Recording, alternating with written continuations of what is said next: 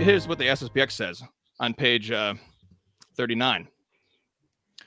The expression paschal mystery appears only a few times in the writings of the church fathers.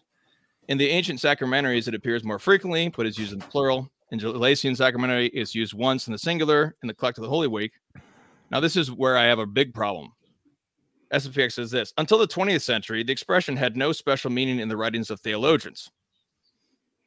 Yeah, I Now- saw that too.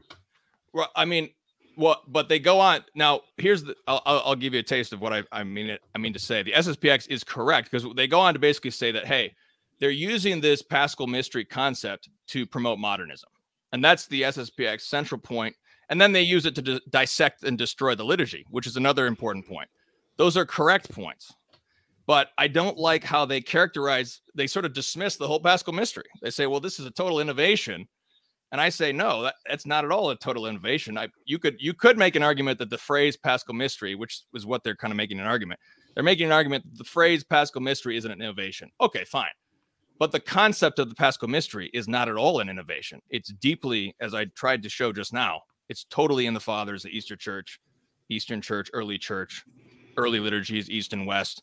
It's all over the place. The Paschal mystery, it's the central Passover mystery of the apostolic preaching. So I find this very problematic in the sense that it doesn't distinguish between antiquarianism, which is what the modernists do.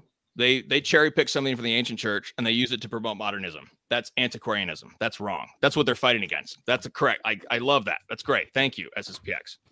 But then they don't distinguish between that and ressourcement, which is actually, hey, we've kind of forgotten this in the West. Let's restore this concept because we've absolutized this aspect a little bit too much.